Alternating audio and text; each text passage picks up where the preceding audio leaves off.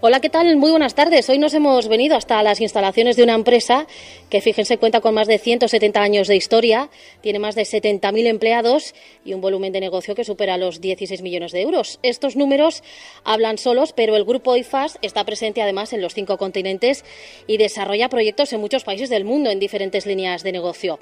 En nuestro país se instalaron hace ya 40 años y aquí emplean a 5.000 personas. En Albacete, a principios de este año, IFAS Energía inauguró una nueva sede que se ha convertido en un referente de sostenibilidad y eficiencia energética. Les verán, por ejemplo, trabajando, por poner algunos ejemplos, porque luego vamos a hablar de todo el organigrama que tienen y toda la labor que realizan en el mantenimiento de sus estaciones, en redes de transporte, ofreciendo la capacidad tecnológica en cualquier fase de un proyecto eólico o en el mantenimiento de equipamiento electromédico. Estamos hablando de un grupo mundial y vamos a ir despedazando un poco el organigrama para saber qué es lo que se realiza desde esta nueva sede de Albacete, desde el que hoy vamos a realizar más de uno Albacete. Nos van a ayudar a hacernos una idea de la envergadura de la cantidad de proyectos que tienen en marcha. Además, ya se lo contamos en esta misma sintonía, el pasado viernes celebraron un encuentro importante con el director general del grupo IFAS, en el que se habló de numerosos proyectos y que trajo algunas novedades. Hoy nos colamos en esta empresa, unas instalaciones, por cierto, espectaculares que están a punto de cumplir un año y que tienen mucho que decir en eléctricas, en mantenimiento, en energías renovables. IFAS Energía hoy es la protagonista de más de uno Albacete y aquí vamos a contar con quienes trabajan día a día para que nos expliquen eh, pues eh, el motor que supone ya no solo para nuestra provincia, sino el motor que supone esta empresa a nivel nacional e internacional. Vamos además a distinguir entre empresa y grupo, pero para ello vamos a ir saludando a nuestros invitados, que son varios, que nos van a acompañar hasta las dos en punto de la tarde, pero además, como no, les vamos a contar todo lo que está dando de sí este martes 26 de noviembre, que no es poco. Tenemos aquí con nosotros a José Manuel Martínez, él es consejero delegado y director general de IFAS en España, y desde el viernes, como seguramente tendría poco trabajo, nuevo delegado de IFAS en España. José Manuel, ¿qué tal? Muy buenas tardes. Hola, muy buenos, muy buenos días. nosotros tenemos la manía de decir buenas tardes por aquí a gusto del consumidor. Eh, José Manuel, seguro que hasta el viernes tenía muy poco trabajo, mucho tiempo libre, y con este cargo de nuevo delegado de IFAS en España, pues añade una pequeña responsabilidad más, ¿no? Bueno, realmente es desde julio cuando se hace el, nombramiento y efectivamente, pues eh, en la reorganización interna que teníamos añadimos una nueva responsabilidad a las que ya veníamos desarrollando con este puesto de delegado de España. La primera pregunta, José Manuel, es obligada. ¿Qué es IFAS y cuál es el organigrama? Porque tenemos que distinguir entre grupo IFAS, eh, las líneas de negocio en las que trabaja, que son varias, e IFAS Energía. Bueno, el, grupo IFAS es un gran grupo constructor europeo, tercero en tamaño francés y quinto europeo. Eh, tiene unos volúmenes totales que comentabas tú al principio, Paloma, de unos eh, 70.000 trabajadores y unos 16.000 millones de facturación anual. Este grupo desarrolla su actividad en cuatro líneas principales, que son obra civil, construcción, eh, energía y concesiones. De estas cuatro líneas en España eh, trabajamos en dos y media, infraestructuras y metal, que realmente está englobada dentro de la actividad de infraestructuras y de energía, como decía. Entonces, el nuevo puesto de responsable de delegado país lo que hace es otorgar la responsabilidad de representación del grupo sobre todas las actividades que se desarrollan en el país, eh, en este caso en España. Vamos a saludar también a Daniel Garrido, él es director internacional eh, de energías renovables. Daniel, ¿qué tal? Muy buenas tardes. Buenos días, Coja el micro porque si no le vamos a ir francamente mal. Eh, Daniel, menuda infraestructura tiene el grupo IFAS, menuda infraestructura tiene IFAS Energía. Desde luego que esto es un mundo, una ciudad en sí misma. Por supuesto, como ha José Manuel, nosotros somos un grupo con una gran presencia en España en todos los ámbitos de negocios relacionados con la energía y las infraestructuras eléctricas. Actualmente estaremos entre los cuatro o cinco primeros grupos a nivel nacional en volumen de negocio y en, diversificación de, actividades. Y bueno, yo represento eh, dentro del grupo todo lo que son las filiales internacionales, principalmente enfocadas en Latinoamérica y en algunos países de Europa, y el área de energías renovables tanto en España como a nivel internacional. Eh, bueno, yo por mi parte estamos muy contentos. Este año ha sido un, punto de inflexión dentro del grupo y dentro de mi actividad, porque hemos pasado a, hacer un volumen de, proyectos que no hayamos tenido hasta ahora. Con es uno de los actores principales en España a nivel de construcción. Actualmente estaremos sobre el, segundo mayor grupo constructor de energías renovables en España. Y eh, hemos cumplido además tres hitos importantes dentro de mi actividad. Eh, el primer hito importante es construimos el primer parque eólico en, en el África subsahariana, en Senegal en concreto. Es, es un proyecto de 150 megavatios y es el primero que se instala en el país. Luego de lo siguiente, el segundo hito es la conexión de la, de la mayor planta fotovoltaica en el Caribe, en Jamaica. Y el tercer hito es la construcción de la mayor planta solar de Europa. Con lo cual, bueno, en esos tres eh, ámbitos hemos estado implicados, desarrollando desde la ingeniería, construcción y puesta en marcha, lo cual nos enorgullece y bueno, nos da un paso más en nuestra carrera hacia, hacia el éxito. ¿no? Creo que eh, este ha sido, un, como digo, un año importante que, del cual vendrán muchos más y del cual pone el nombre de Albacete a nivel internacional en todos, los, en todos estos países eh, y, lógicamente, en ámbito nacional. Nosotros, bueno, como dato en, mi en, la parte que yo, yo, gestiono, bueno, pues habitualmente tenemos eh, eh, reuniones, nuestros clientes están en, a nivel internacional y en Madrid, lógicamente en Albacete, bueno, pues nuestro ámbito es, está a la base, pero nuestro negocio, lógicamente, está, como os digo, en Madrid y en, otros países europeos donde están nuestros clientes. Y la gente siempre nos pregunta, oye, ¿cómo puede ser que desde Albacete gestionéis lo que estéis gestionando? Y bueno, pues, eh, nos hemos lanzado hemos, hemos sido muy atrevidos en el mercado y la verdad es que, bueno, pues aquí estamos. Muchas veces la gente pues, nos lo pregunta y, y creo que es un motivo de orgullo para la ciudad, eh, para la provincia y bueno, para el equipo que trabajamos en ello. ¿no? Bueno, trabajáis unos, eh, son 600 personas en Albacete y eh, un volumen de negocio, como decíamos, muy importante. Luego vamos a hablar de otra peculiaridad que llama mucho la atención de, la empresa, que es más del 80% de la plantilla participa en el accionariado, lo cual yo creo que es bueno desde muchos puntos de vista. Uno principalmente la implicación. Sin duda. Eh, bueno, somos un grupo eh, que efectivamente cerca del 20% eh, del capital está en manos de los empleados. Del total de los 70.000 empleados, el 80% participa directamente en, esta, en este capital de la compañía y esto lógicamente nos da una fuerza muy importante de cara a, bueno, pues a posibles agresiones que se producen en el mundo empresarial como, como conocemos. ¿no? Entonces, bueno, pues efectivamente el viernes en la, en la visita que tuvimos de nuestro presidente y director general, Benoit de Roufré, eh, bueno, pues era un poco el lanzamiento de lo que hablábamos anteriormente, de la figura de legado país y eh, la introducción para la nueva ampliación de capital que se producirá a lo largo del año que viene, pues después de la Asamblea General. Bueno, yo he dado algunas cifras que hablan por sí solas, pero es que hay muchas que tienen que ver con, con esta empresa. Por ejemplo, que es la que más potencia de renovable ha construido, ha instalado en lo que llevamos de año. Sí, efectivamente. Eh, bueno, digamos que estamos igualados con la primera empresa que está construyendo, pero vamos, para que te hagas una idea, en España, en España este año se van a construir 3.000 megavatios de energía solar, de los cuales IFAS Energía ha construido 1.000, o sea, un 33%, que creo que es una cantidad más que significativa. Y bueno, eh, como he comentado, eh, esto ha implicado el desarrollo de mayor, la mayor planta solar de Europa de 500 megavatios que he comentado antes en, en Extremadura.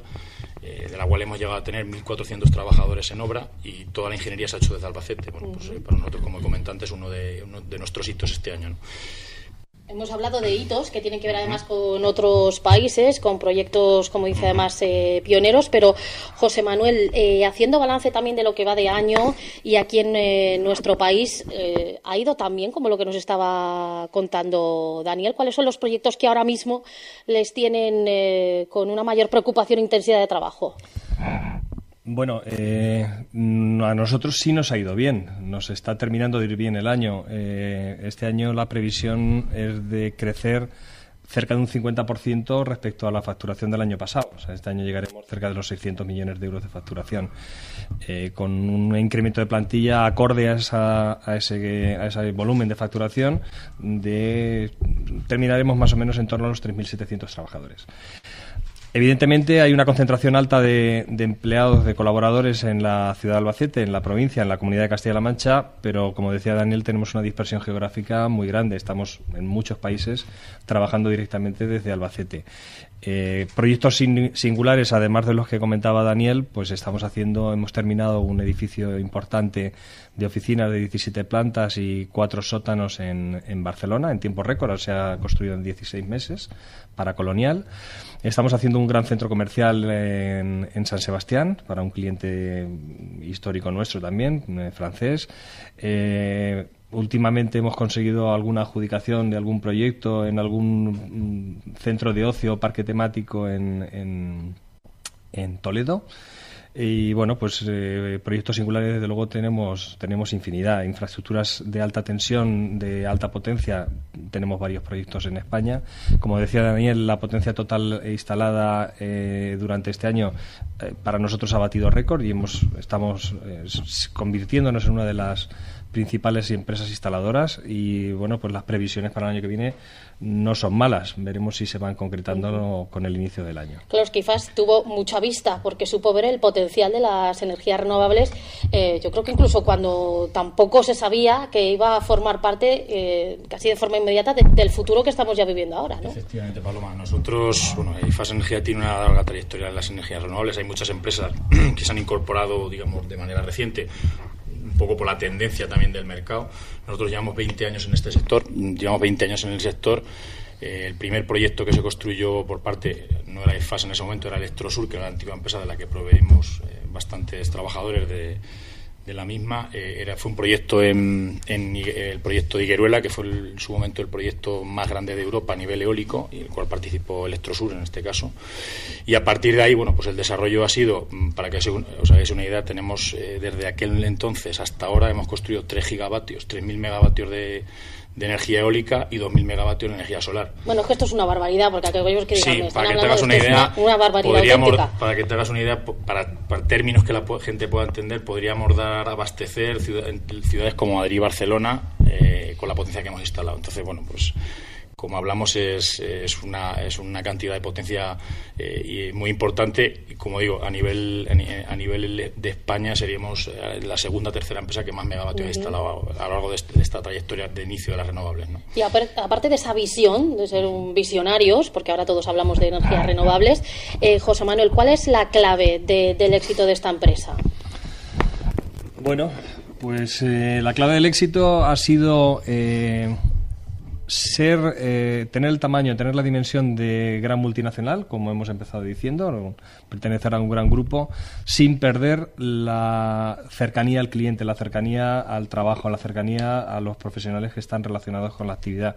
Eh, nuestra escala jerárquica en la toma de decisiones es muy corta, o sea, estamos prácticamente todos de la mano y no somos una organización que se pierda, como decía, en esa toma de decisiones esa agilidad, esa rapidez y esa cercanía al cliente, unido al carácter de innovación eh, y de desarrollo de nuevas tecnologías que estamos teniendo dentro de la compañía y que iréis conociendo a lo largo de la mañana, pues desde luego nos creo que ha sido gran parte del éxito que nos ha llevado a, estar donde estamos. Hablamos del tejido empresarial, eh, indudablemente tenemos que hablar de seguridad ¿no? y de la productividad, que es al fin y al cabo eh, pues parte muy importante y que quienes no vean que va muy unido es que tiene un problema, porque eh, la aplicación de esa seguridad, que además con unas normas concretas, permiten que al fin y al cabo el trabajador trabaje mejor porque está más tranquilo, porque está más feliz y aumente esa productividad. ¿no? Quien no tenga esta idea clara quizá no debería eh, estar metido en el tejido empresarial. Esto sí que lo tiene claro IFAS. Sin duda, con, con el,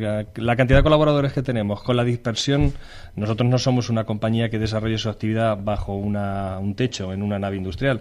Tenemos personal distribuido por todo el territorio, tanto a nivel nacional, como decíamos, como internacional. Y desde luego para nosotros la seguridad de los trabajadores es eh, absolutamente fundamental. En este año hemos pasado de las OSAS 18.001 a las 45.001, integrándolo todo en un sistema de gestión de, seguridad en el trabajo. Y, desde luego, para nosotros es evidente en los ratios, conforme hemos ido reduciendo los índices de siniestralidad, mejorando en los índices de frecuencia de accidentalidad con baja, que ya estamos por debajo de 6, hemos reducido en más de un 90% los accidentes que, teníamos hace unos años esto tiene un reflejo directo en la mejora de la rentabilidad de la compañía. Por lo tanto, más seguro, más tranquilos los trabajadores en cuanto a su, a su vida y a su capacidad de trabajo y desde luego mejora en la productividad para la compañía. Bueno, hemos pasado por unas salas que estaban llenas de trabajadores, estaban muy concentrados, pero tenían buena cara. Eso es buena señal, desde luego. Eh, Daniel nos decía antes algunos de esos, de esos proyectos internacionales tan importantes, pero es que hay que recordar la presencia de esta empresa, de este grupo, en Chile, en Brasil, en México, en Polonia, en eh, eh, Inglaterra, en Bélgica, en Francia, en Portugal. Yo no es que les quiera cargar más, pero viendo ya el panorama, el abanico tan amplio que tienen de trabajo internacional, eh, imagino que esto no deja de crecer. Tendrán ya planteados futuros retos que seguramente abrirán más puertas en otros países. ¿Esos retos por dónde pasan? Efectivamente, bueno, nuestro, como te comenté antes, nuestro principal ámbito de negocio está en Latinoamérica. Este año hemos construido un proyecto en México de 100 megavatios que conectamos de energía solar, conectamos hace dos semanas a la red. Y bueno, en México es nuestro futuro gran mercado eh, de cara a los próximos dos tres años. Eh, como ha dicho el resto de países, seguimos presentes en todos ellos. Y bueno, es un poco como el objetivo a corto plazo del grupo, eh, desarrollar, eh, desarrollarnos de manera importante en México. Tenemos países en, como Colombia, donde el grupo tiene presencia de hace unos 10 años, donde también queremos eh, empezar a trabajar. Y bueno, la idea es ir poco a poco, anualmente, ir creciendo país a país, lógicamente con los pies en el suelo. Y bueno, también somos una empresa que que no nos volvemos locos con las tendencias del mercado, sino que analizamos bien dónde vamos y, asumiendo, digamos, los riesgos que, puede, que puede implicar cualquier eh, nuevo eh, desafío, de tal manera que, bueno, que demos una estabilidad al grupo y que no sea solo crecer por crecer, sino crecer de una manera sostenible y con, las bases eh, bien asentadas, ¿no? que al final es nuestro, es nuestro secreto del éxito básicamente radica ahí, no mi departamento, sino en general la empresa. Hemos trabajado siempre con esa conciencia de, bueno, pues de ser una empresa fiable y no digamos, eh, llevarnos por el mercado, por muchas veces, bueno, pues los mercados tienen mucha especulación, todos, al final, el inmobiliario, en la energía renovables, todo tiene eh, una parte especulativa y procuramos salirnos de ella para centrarnos, lógicamente, en algo a largo plazo que genere de verdad valor y riqueza a la empresa y al país o la región donde estamos, que al final creo que es lo que realmente es importante para, para una empresa, o por lo menos de nuestro punto de vista. Bueno, estamos aquí hoy en eh, las instalaciones de IFAS Energía en Albacete y estamos realizando aquí el programa en una sala, yo creo que de formación, ¿no? Porque tenemos una gran pantalla detrás, eh, mesas y demás. Luego hablaremos con otra de las invitadas de la formación, que es muy importante, porque siempre hay que reciclarse y, sobre todo refrescar, ¿no? Y aumentar el conocimiento. Y aquí también encontramos una curiosidad que yo no sabía, y es que la pirámide de uno de los famosos, uno de los más famosos museos del mundo, el Louvre, en París, eh, lo hizo IFAS. Correcto. Pero bueno, qué maravilla. ¿Tendrán entradas gratis entonces todos los trabajadores? Todos los trabajadores tienen entradas gratis durante todo el año, sin pues, ningún problema. Pues, pues, nos hacen llegar algunas, que nos encanta ese museo y siempre hay mucha cola. Bueno, es también un hito importante. No hay que, hay que olvidar el origen francés, lógicamente, de, esta empresa hace tanto tiempo. Sí, efectivamente, el grupo, eh, no recuerdo exactamente la fecha, en 1879 aproximadamente, iniciaba su actividad a través de dos constructoras francesas que eran Fugerol y, SAE, que se fusionaron. Una de ellas participó directamente, decías la torre de la pirámide del Louvre, que la ha hecho la IFAS Metal, eh, en su momento se participó también en la construcción de la Torre Eiffel por parte de, una de las empresas formantes de lo que finalmente eh, ha sido IFAS. qué maravilla, porque uno eh, forma parte de la construcción de un proyecto tan admirado mundialmente, ¿no? Siempre va a tener ese, ese sello. Queremos conocer algo más sobre, sobre esta empresa. Todo esto que estamos contando también les hace valedores de numerosos premios y distinciones, que eso pues siempre hace ilusión. Hombre, es el reconocimiento al trabajo que se está haciendo. Este año hemos recibido eh, dos premios eh, por parte de uno de nuestro nuestro cliente principal, Iberdrola. Eh, ha sido uno en cuanto a, seguridad y salud en el trabajo. hemos sido reconocidos como una empresa con unos índices, como decía antes, de siniestralidad bajos dentro de los estándares que marca, marca nuestro cliente. Y por otro lado hemos recibido también el premio especial como proveedor del año de Iberdrola, que para nosotros desde luego también es un un gran reconocimiento al gran trabajo que se está haciendo de manera conjunta con este cliente. Bueno, pues en esta charla y teniendo en cuenta eh, lo enorme que es este grupo, esta empresa y la cantidad de proyectos en los que eh, están involucrados, creo que nos ha quedado bastante claro eh, por dónde van los pasos de IFAS Energía y qué orgullo que también una empresa que está instalada aquí en Albacete, aunque sea, como decíamos, 170, más de 170 años de historia, esté tan, tan afianzada y tenga ese, ese peso, ¿no? Esa, esa importancia. Así que muchísimas gracias a los dos, a José Manuel y a Daniel, por la invitación, por explicarnos eh, qué es lo que se hace aquí y que vaya como mínimo igual de bien que hasta ahora. Eso esperamos. Si no, un poquito mejor. Luego tendremos también más invitados porque hay mucho que contar, así que muchísimas gracias a los dos. Pero claro, no solo estamos pendientes de lo que ocurre aquí dentro, en estas instalaciones, como decíamos, además referencia, sino que también estamos muy pendientes de la actualidad de esta jornada. Enseguida nos vamos hasta Onda Cero Albacete, hasta los estudios, para que mm, Karina Requena nos haga el resumen del día. Después de esta pausa. Pues ya estamos aquí de vuelta en Más de Uno Albacete. y es martes 26 de noviembre y hoy estamos realizando este programa desde las instalaciones de IFAS Energía. Nos queda todavía mucho que contar. Vamos a hablar del capital humano de esta empresa. Vamos a hablar también del control de gestión, de, bueno, de muchos proyectos en los que eh, se está trabajando que tiene que ver, fíjense, con la renovación del alumbrado público de nuestra capital, de los polígonos industriales, de algo de lo que hemos hablado mucho y es de cómo proteger a las aves, eh, que muchas y hemos conocido muchos casos eh, pues mueren electrocutadas en líneas de alta tensión. Son solo algunos de los proyectos de los que vamos a hablar. Hay mucho más que les vamos a contar en esta jornada que en lo meteorológico viene con cielos cubiertos, con algunas lluvias débiles y chubascos ocasionales por la tarde y temperaturas que suben hasta los 18 de máxima en la capital, 19 en Ellín, 17 en Villarrobledo. También lo hacen las mínimas, que se quedan en los 10 grados en la capital o en Almansa. Y mañana miércoles tendremos un panorama bastante similar con eh, nubes, con lluvias débiles y con temperaturas que, sin embargo, descienden ligeramente hasta los 16 grados en la capital o 15 en Almansa.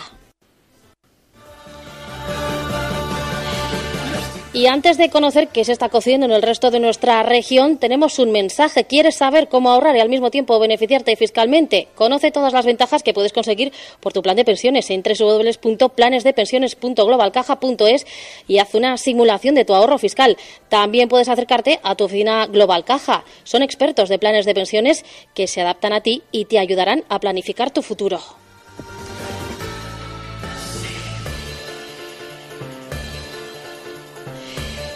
Y como cada día a estas horas, vamos a buscar qué es lo que está ocurriendo en el resto de Castilla-La Mancha. Nos lo contará Javier Ruiz a las 2 y 20 de la tarde. Javi, ¿qué tal? Muy buenas tardes. ¿Qué tal, compañeros? En esta mañana de martes es noticia el Consejo de Gobierno que ha informado sobre la ley de economía circular que va a remitir a las Cortes de Castilla-La Mancha, de tal manera que la eh, ley pretende que nuestra comunidad autónoma se convierta en un ejemplo de economía sostenible donde el reciclaje, por ejemplo, y el uso completo de todos los artículos que forman nuestro día a día puedan servir para después eh, volver a ser utilizados de alguna forma u otra. Se trata, como digo, de una apuesta mm, decidida por el mm, desarrollo sostenible y una mañana en la que ha reparecido, en Toledo en este caso, en la en una jornada de la Asociación de Empresas Familiar, la que fuera vicepresidenta del Gobierno de España, Soraya Sáenz de Santa María, en unas jornadas sobre liderazgo femenino. De estos y otros asuntos y de la presencia de los amigos del Consejo Regulador de la Denominación de Origen La Mancha en Madrid presentando sus vinos del 2019, ampliaremos información a partir de las 2 y 20 en el tiempo de Onda Cero Castilla-La Mancha. A esa hora estaremos atentos, pero aquí en Más de Uno Albacete nos seguimos ocupando de todo el trabajo que se genera aquí en IFAS Energía y vamos a hablar de, pues, podemos decir, casi el capital más, más importante con el que cuenta una empresa, que es el capital humano.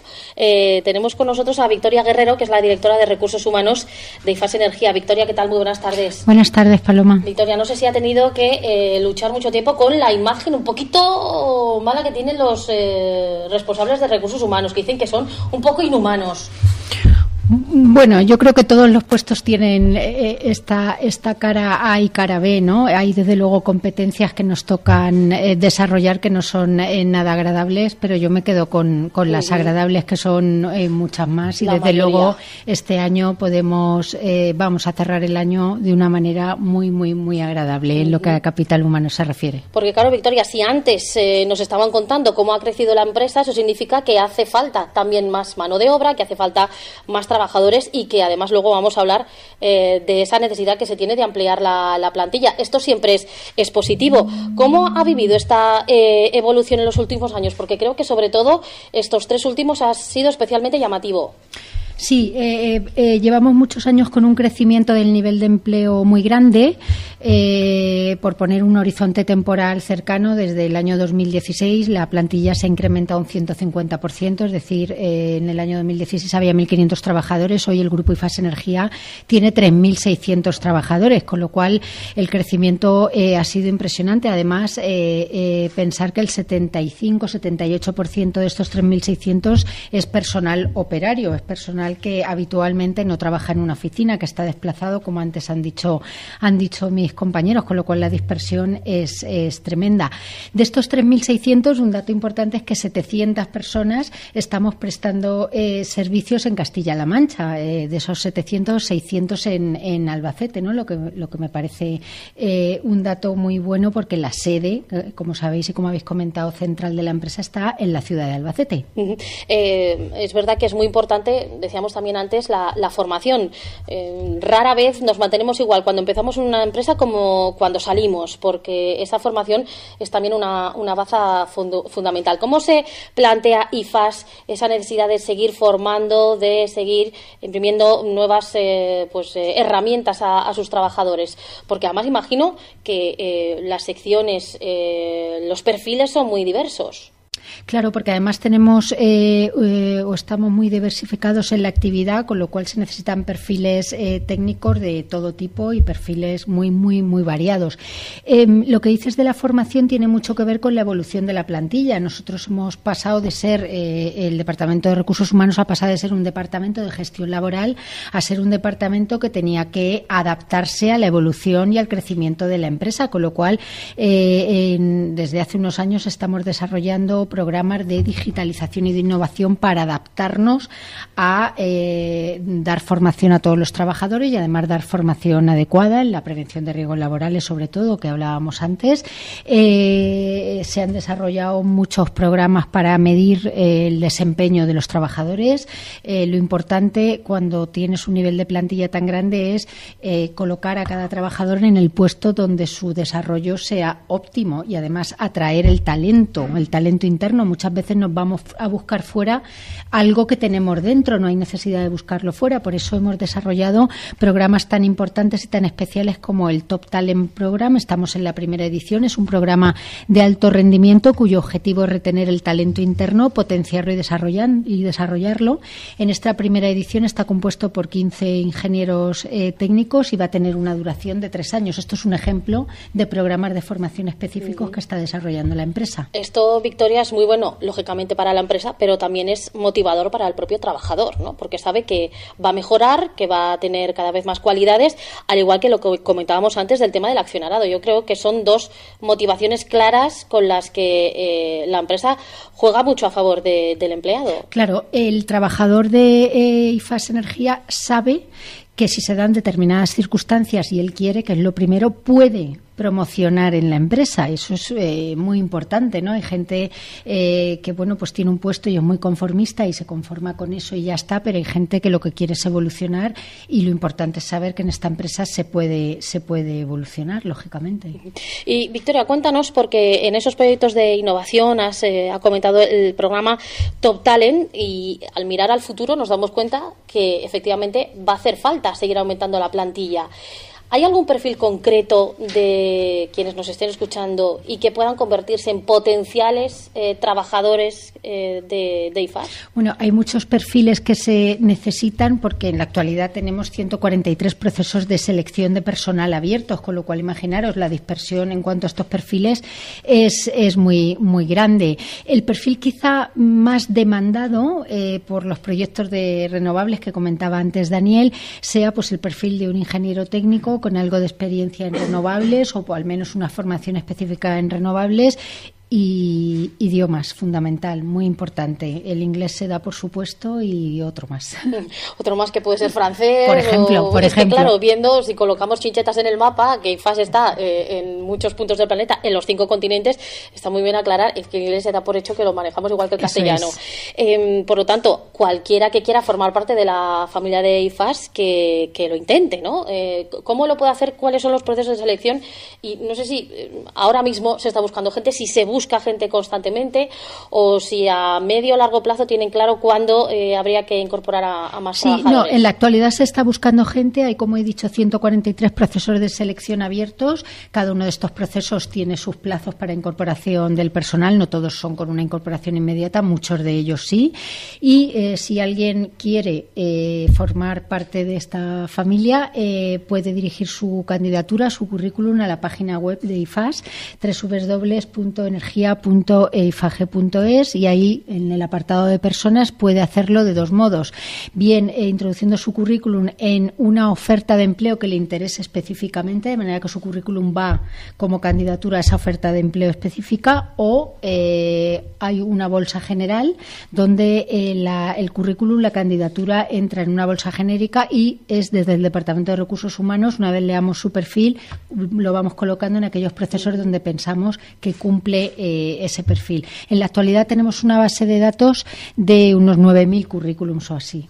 En la cuestión laboral hemos hablado tantas veces de a raíz de la crisis y de las complicaciones y del desempleo que muchas personas con alta cualificación estaban desarrollando trabajos eh, de, menor categoría, podríamos decir. Eso conlleva pues eh, un sueldo menor y una mm, lógica frustración esto es un buen mensaje para decir aquí hace falta personas válidas que ojalá y no se tengan que ir fuera y que inicien una experiencia laboral aquí en esta empresa. Claro, yo creo que el grupo IFAS Energía ahora mismo es un buen ejemplo de, de, esto. Es verdad que se han pasado épocas muy malas, crisis económicas, eh, eh, pero al final eh, nosotros nos quedamos con que estamos buscando personal, con que queremos que la gente o cubrir los procesos de selección con, con, perfiles válidos, con gente que, sobre todo, independientemente de que cumpla los perfiles técnicos y la formación y la experiencia que tenga, ganas, interés y mucha voluntad en trabajar, que son lo más importante, con lo cual creo que somos un buen ejemplo.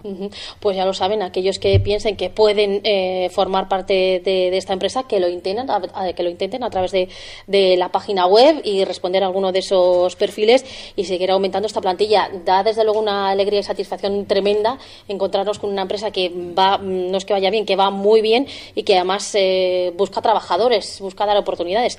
Así que nos alegra mucho. Y Victoria, muchas gracias, que además dejamos que se vaya porque se va a París, ni más ni menos, pero no le va a dar tiempo de ir al museo, ni al Louvre, ni no, nada. No, no, no, no, me va a dar tiempo. No, va a dar tiempo. Dejamos que también se marche, así que Victoria eh, Guerrero, que es la directora de Recursos Humanos, gracias también por estar con nosotros y ojalá que siga aumentando la familia, que eso es siempre muy Muchas gracias a vosotros. gracias. Bueno, vamos a hacer una pausa para la publicidad, pero enseguida, enseguida continuamos. Pues continuamos en más de uno Albacete este martes 26 de noviembre, en el que estamos descubriendo pues eh, muchas de las facetas eh, en las que se trabaja aquí en la sede central de IFAS Energía. Y vamos a saludar a otros dos invitados que nos acompañan. Domingo Molina, que es el director nacional de distribución e instalaciones. Domingo, ¿qué tal? Muy buenas tardes. Buenas tardes. Y también a Raúl Ortega, que es el director de control de gestión. Raúl, muy buenas tardes. Muy buenas tardes. Bueno, eh, Domingo, lo primero, por aclarar conceptos. ¿Usted a qué se dedica? Cuando usted entró en esta empresa, no sé si ya entró con el cargo o no, ¿cuál le dijeron que iba a ser su cometido? Bueno, pues yo entré hace muchos años y entré de jefe de obra. Entré hace 22 años en la empresa. Y bueno, he estado en casi todos los ámbitos de la empresa. He estado de empecé de jefe de obra, después he estado de delegado de instalaciones, delegado de, distribución, delegado de subestaciones. Hace 10 años que tengo el cargo, o tenía el cargo de director de la Territorial Centro, que era Castilla-La Mancha y Madrid. Y desde hace ocho meses soy director nacional, que al final lo que hago es eh, gestionar a los directores territoriales de toda España. Domingo, es el claro ejemplo de lo que nos contaba Victoria, de cómo la promoción interna permite que uno empiece de una manera y acabe de otra. Es lo más importante. Además, normalmente nuestros mejores activos son los que han empezado haciendo las prácticas aquí. Nuestros mejores técnicos y los activos que son más fieles a la empresa son gente que ha salido y su primer trabajo es aquí, lo hemos formado aquí. Eh, eh, y en su caso, eh, Raúl, el control de gestión, ¿por qué es tan importante? No solo en una empresa como IFAS, sino en general. Bueno, hay que tener en cuenta que tenemos una dispersión geográfica enorme, tenemos multitud de delegaciones, multitud de sociedades dentro del grupo y al final el control de gestión es un proceso administrativo que tiende a fundamentalmente a evaluar si el grado de cumplimiento de los objetivos empresariales se está alcanzando o no se está alcanzando. Por eso es tan importante eh, este control de gestión en cada una de las áreas productivas de la compañía. Bueno, Domingo, es verdad que como director de distribución e instalaciones se tienen además en marcha numerosos proyectos, yo creo que muy interesantes. Pero cuéntenos, eh, por lo que estábamos eh, narrando también de cómo ha ido creciendo la empresa, de una nueva estructura que ha tenido que ir adaptándose a todos esos cambios, cómo ha ido, cómo ha ido creciendo y cómo ha ido también modificando pues, las ocupaciones de, de, cada uno de los sectores en los que, en los que trabajan. Pues principalmente, eh, bueno, la, empresa en los últimos años ha crecido exponencialmente, con lo cual al final lo que era algo que era ámbito territorial y cercano y una cifra de negocio que era llevadera, ahora estamos en una cifra de negocio importantes y lo que se trata es un poco de ese crecimiento, asentarlo, poner los cimientos y utilizar de cada zona lo mejor. O sea, buscar dónde está la grandeza en cada zona para intentar imitarlo en otras zonas. Porque el problema que tenemos, bueno, no es problema. Eh, hemos crecido y hay en zonas donde tienen unos tipos distintos de actividad a otras zonas. Por ejemplo, en el norte la actividad es muy distinta de la del sur. Y lo que se trata es con lo que hacen en el norte, igualarlo en el sur y al contrario. ¿Y cuál sería, por ejemplo, el, mayor valor de, nuestra zona? El mayor valor de nuestra zona es la diversificación que tenemos, porque en esta zona es donde se implantó, donde empezó IFAS y a partir de esta zona es donde empezó a expandirse por España y aquí está totalmente diversificado. En otras zonas, por ejemplo, tienen proyectos o hacen proyectos que siempre son similares. Aquí se toca desde la parte hospitalaria, la parte industrial, la parte de mantenimiento, la parte de instalaciones y la parte de compañía. Por ejemplo, en el sur el 80% de su cifra es compañía o distribución y lo que se intenta es exportar el conocimiento que tenemos aquí al sur. Pero el principal valor que tenemos, el principal y mi principal función y que hemos hablado poco es la seguridad. Lo principal que lo que trabajamos y es uno de los de los hitos que tenemos y que, que poco a poco hemos conseguido, como ha dicho José Manuel, bajar al 90% los accidentes, tenemos que bajar a cero. Y eso también intentamos imitar las zonas que lo hacen bien con las zonas que están peor. ¿Y qué es lo que ha habido que cambiar y lo que pretenden también eh, mejorar para conseguir esta lista cero? Que ojalá que se pues logre. Lo, que, lo primero es comunicar con la gente, mentalizar a la gente de que lo que queremos es que nuestros colaboradores lleguen sanos y salvos a casa. Que lo más importante es la seguridad, después es la producción. Porque sin seguridad no, al final no hay producción. Entonces, lo que hemos fomentado es una política de buenas prácticas Hemos hecho planos de choque donde hemos detectado que la siniestralidad se eleva. En función de, la zona, pues hemos hecho actuaciones en función también del tipo de tarea que hacen. Y hemos conseguido, bueno, unos índices que ya son muy difíciles de mantener, pero que tenemos que seguir eh, para llegar a objetivos cero. Este año, por ejemplo, creo que hemos tenido eh, en mi zona, que depende de mí, 2.200 trabajadores, creo que llevamos accidentes con baja creo que hemos tenido ocho accidentes con baja. La siniestralidad de, esta empresa, normalmente, eh, ¿en qué situaciones se produce? se produce trabajando, normalmente son los trabajadores los que tienen, tienen siniestralidad, por ejemplo, eh, mucho que tenemos que trabajar en, en, en accidente en itinere, porque tenemos ahora mismo vehículos, eh, en lo que es mi zona estaremos en 800 vehículos. O sea, 800 personas que todos los días no paran de desplazarse, no solo para llegar al trabajo, sino hay gente que llega a un, a un tajo, cambia de tajo, o sea, se pasa gran parte del tiempo trabajando en el vehículo.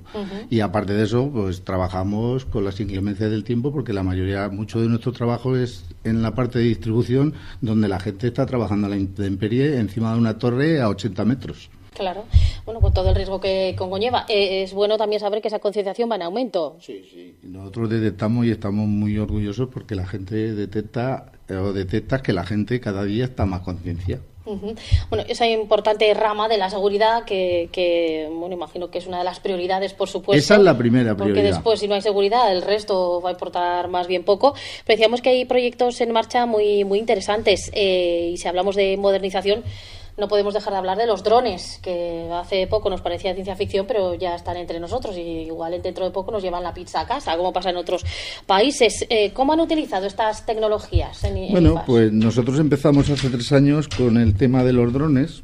Los utilizamos porque en el, en- tenemos un departamento que hace mantenimiento de plantas, fotovolta- de plantas fotovoltaicas y de, hace mantenimiento también de líneas aéreas. Entonces, esto eh, conlleva el que hay que hacer unas revisiones termográficas, que es, una, es con unas cámaras, unos útiles, que lo que hacen es pasar por las plantas y detectar los fallos que hay. Esto lo hacíamos manualmente. Entonces incorporamos los drones y empezamos a automatizarlos. Pero no solo incorporamos los drones, porque al final hablar de drones es fácil y todo el mundo se hace una idea. El tema del dron lleva mucho más, porque para el equipo de dron hace falta el piloto de dron, efectivamente, pero luego tenemos técnicos informáticos, que son los que gestionan todo el tema de la fotografía y el vídeo. Hay varios técnicos informáticos, hay técnicos electrónicos y luego pilotos, por supuesto. Sí, que no es un avión de juguete, No, vamos, no, no, no desde es un luego. juguete, no Eh, es para volar. No, solo. no, así se permite llegar a una mayor superficie y de forma más exacta. ¿no? Pues así permite primero eh, utilizar medios, menos medios humanos, con lo cual es más seguro. O sea, el hacer una revisión a una línea de alta tensión, pues es programar el dron y que vuele por la línea. Y tú estás, puedes estar a 5 kilómetros de distancia. O, pro- o hacer la termografía de una planta fotovoltaica que manualmente podríamos estar dos semanas, con el dron en tres días lo tienes hecho. ¿Qué pasa? Que luego hay que gestionar el millón de fotografías que salen. Por eso hace falta ingenieros informáticos. No es solo volar con el dron. No, claro, es todo lo que Es lo que hay que hacer antes y lo que hay que hacer después, claro. Eh, y domingo, esto precisamente también se intenta se intenta con otro problema y es que muchas veces hemos hablado de la cantidad de ejemplares de aves que mueren electrocutados en los eh, postes de alta tensión, que esto incluso se ha llevado a los tribunales. Eh, se intenta trabajar también para protegerlos. También estamos en proyectos, o sea, tenemos proyectos, eh, tenemos una adjudicación del año pasado, por ejemplo, con el Ministerio de, de Agricultura y Medio Ambiente, en el cual estamos por la protección de la avifauna, que al final es poner medidas contra la colisión y la electrificación de aves que lo que se hace es trabajar en tensión o en frío en las líneas donde hay especial, en las zonas donde hay especial protección de las aves. Entonces, bueno, es un proyecto importante que, que son cuatro años. Eso es para el Ministerio, pero aparte de eso, ahora mismo estamos trabajando con 10 barquillas aquí en esta zona y otras 14 en, en otras zonas para la compañía, también para forrar para que no haya electrocución de aves. ¿Qué importancia tiene eh, Raúl para que, por ejemplo, el departamento de domingo funcione correctamente o alguno, el recursos humanos o todos los departamentos que forman eh, IFAS Energía, esta, este control de gestión que comentaba al principio, que tiene ventajas eh, pues, eh, a nivel empresarial en general y cómo se aplican aquí también en, en, IFAS? ¿Cuáles son ventajas particulares de todo este control de gestión para que todos los departamentos funcionen correctamente?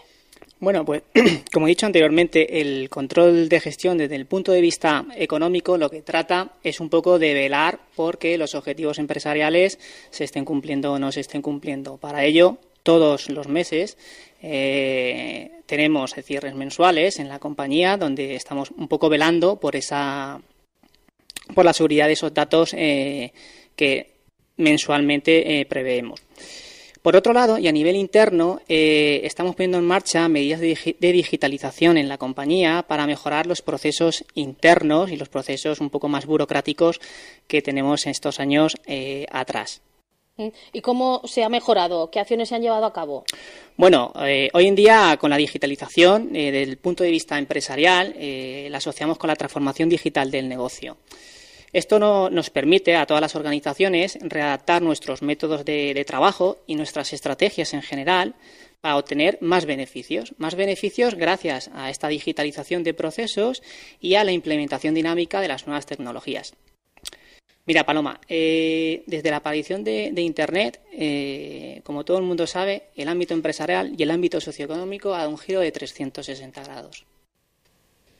Esto nos ha dado la oportunidad de mejorar nuestra capacidad analítica y nuestra capacidad predictiva tanto a nivel interno de nuestros procesos internos como a nivel de nuestros procesos externos relacionados con nuestros proveedores y nuestros clientes para mejorar los procesos de la compañía a nivel de eficacia y de eficiencia. Hay que tener claro que esta digitalización de procesos implica adaptarse al nuevo entorno tecnológico, por supuesto, todo el mundo, y esto es realmente complicado. Pero representa una ventaja. que nos olvidamos del papel y el boli. Efectivamente, pero representa una ventaja muy, muy añadida para todas las empresas, con independencia del sector en el que operen. ¿Y algunas herramientas eh, que utilicéis que os sitúa por delante en ese proceso de digitalización? Bueno, eh, actualmente desde el grupo se han venido desarrollando eh, numerosas aplicaciones para la digitalización. Lo primero de todo, contar eh, que toda nuestra gestión empresarial pasa por tener un buen ERP. Un ERP, para el público en general, no deja de ser un programa informático de gestión.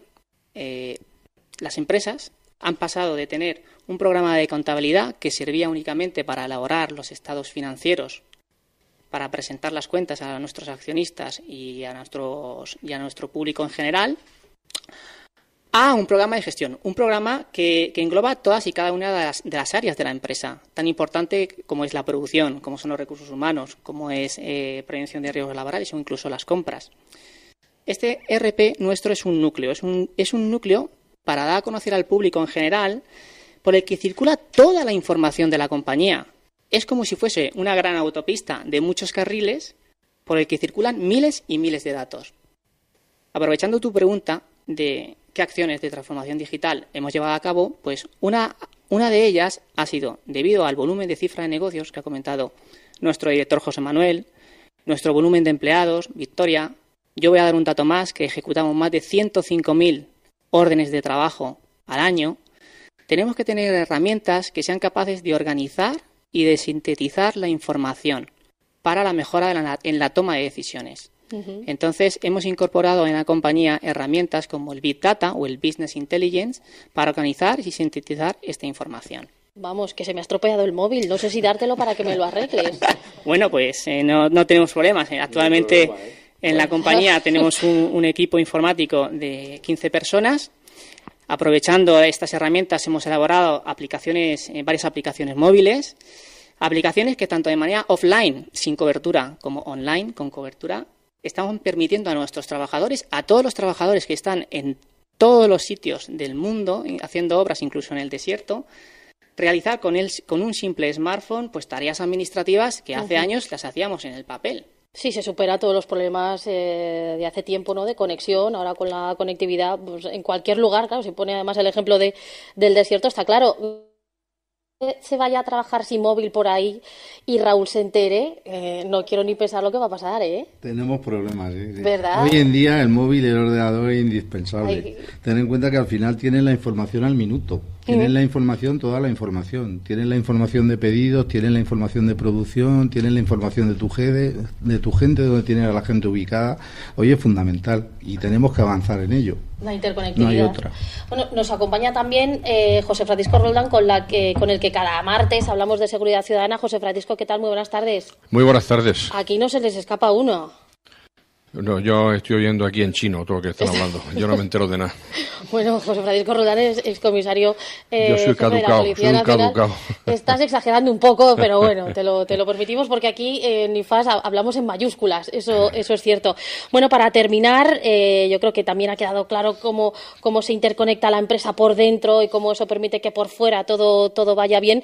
Vamos a hablar de un último proyecto, Domingo, que tiene que ver con el alumbrado, algo que, que era una necesidad más de polígonos de aquí aquí de, Albacete, polígonos industriales, alumbrado público de Albacete Capital. Hombre, estamos a las puertas de la Navidad. Bueno, en Madrid, en Barcelona, en Vigo ya están comiendo polvorones porque ya han encendido el alumbrado, el, alumbrado navideño y demás. Eh, pero ¿qué importancia tiene esta labor también eh, pues en estos polígonos industriales que forma parte del tejido también económico de la ciudad y de la provincia? No solo es en los polígonos, el alumbrado, la hora del alumbrado de Albacete es en toda la ciudad. Se ha cambiado lo que era la iluminación habitual, que era incandescencia, por LED. Al final, el cambiar a eso eh, permite un 75% de ahorro. Eso es que se vea antes a los cacos, que eso le viene muy bien a la policía. Entonces, bueno, es una mejora primero sustancial por cómo lucen ahora las LED, que es mucho más, están mucho más diversificados y se ve mejor, hay más dispersión. Y eh, aparte de eso, eh, la mejora económica, es un 75% de la factura, efectivamente. Son proyectos que se están haciendo, no solo se ha hecho en Albacete, se está haciendo en Ellín, se está haciendo en, en, Tobarra, hemos hecho en Cuenca, hemos hecho en Levante, hemos hecho en Ávila, eh, tenemos muchos proyectos de este tipo. En Albacete es significativo porque es la ciudad de Albacete y es donde tenemos la base, pero estamos, incluso estamos en proyectos todavía que van a más, que son las Smart City que al final lo que se trata no solo es el alumbrado, porque en una ciudad conviven eh, los semáforos, convive la seguridad, entonces eh, eh, hay proyectos donde estamos avanzando en conjugar cámaras de vigilancia con el fin de que, de que los semáforos funcionen en función funcionen en base al tráfico que hay en ese momento, sean más rápidos uno y otro más lento en función del, del tráfico, cámaras de seguridad eh, y aparte de eso, iluminación que, que funcione pues según el día. O sea, si está, si hay poca luz, pues que la iluminación sea más y si hay menos luz, pues al revés, sea más.